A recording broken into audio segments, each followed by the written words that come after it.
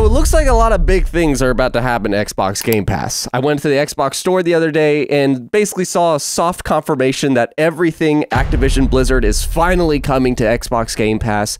It's about freaking time. But also, there's a Game of the Year nominee about to hit the service and something about to potentially shadow drop, like a fresh new first party IP. But there are some caveats to this that if I am wrong, then we will have to wait till much later in 2024 to get some of these. If you're a Game Pass subscriber like me, you love the service because, or maybe you do. If you don't, that's fine. but I like the service because I get to discover fresh new games that I may not have tried before, and I like saving money. And it has been a big game of patience with this whole Activision Blizzard deal because they announced this deal nearly two years ago now. And we are still, as the consumers, not really seeing the benefit to us. It's been almost three months since the deal closed, and we still haven't seen that consumer benefit. So when is that going to happen? The other night when I was chatting with some buds, I was looking at the Xbox countdown, like New Year's sale. I'll put a video on screen so you can see what I'm talking about. And I got Sifu. I'm happy about that. I might stream that. Twitch.tv slash. But when I was looking at it, I noticed basically every Activision Blizzard game was in this sale for significantly off. I'm talking about like 50 to 70% off every single Call of Duty that's been on Xbox, every single Diablo, every Crash Bandicoot, every Spyro. I even saw Prototype 1 and 2.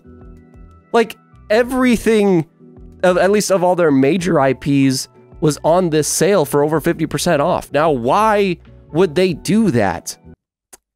Could it be because they're trying to get sales in? Before it is significantly lessened before they all get added to Xbox Game Pass? As the new publisher of these games, Xbox totally wrote off and approved all these games going on sale that hard. So why would they do that if they were not all about to be added to their subscription service where people aren't going to buy them as much on this platform anymore? Like, this, that makes sense to me. But if they do do this, when would they add it? I think they're going to want the dust to settle a little bit because one, the sale just happened, you know, and have you ever been here where you buy a game on sale like significantly less and then they just add it to PS Plus or Game Pass or whatever and you're just like, why did I even buy it if I just waited two weeks? So they're probably going to want the dust to settle for a bit and maybe not do it in January. But if they do it could be January 18th or 19th because that is just before the weekend. It's a Thursday or Friday, and that it's at least a couple weeks after the sale, so the wound won't be as fresh. But they also just did this Game Pass announcement where they just announced Assassin's Creed Valhalla is going to be on Game Pass. Apparently, it was on there before. I didn't know that. Hell Let Loose. I'm going to try that one out. Resident Evil 2 Remake, a Game of the Year nominee, and supposedly kind of like ushered in the really great remake era potentially? Was that first or was final fantasy VII remake first? That's great you know like they already have a great you know january editions coming so it's like let that settle let the sale settle for a bit longer and then add it. So january 18th 19th they also would probably want it a week away from the developer direct that's right, a lot of the rumors are saying that the developer direct from last year is going to return this year for Xbox, and I'm happy if they do. I'd be shocked if Tina Amini, who's the new uh, director of Xbox broadcasts, would not do that, by the way. Hi, Tina. I miss you. You know, Game, Game Scoop. I, I listen to her on podcast. She's great. Uh, and we'll speculate on what's going to be in that developer direct another time. So make sure you subscribe to that. That is definitely going to be a video for later.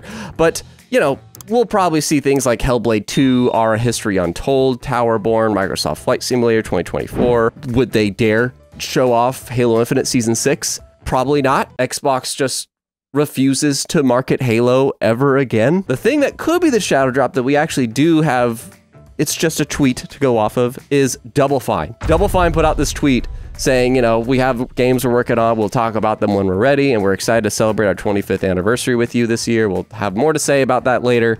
But yeah, they just greeted us in the new year. And they had a little project. I think it's titled Kiln, like K I L N, that they had to kind of stop and ramp up on Psychonauts 2. I think that happened after Microsoft bought them. Release a game with us and then, you know, we'll work on your next project together. So that project has been in full swing for the past two years.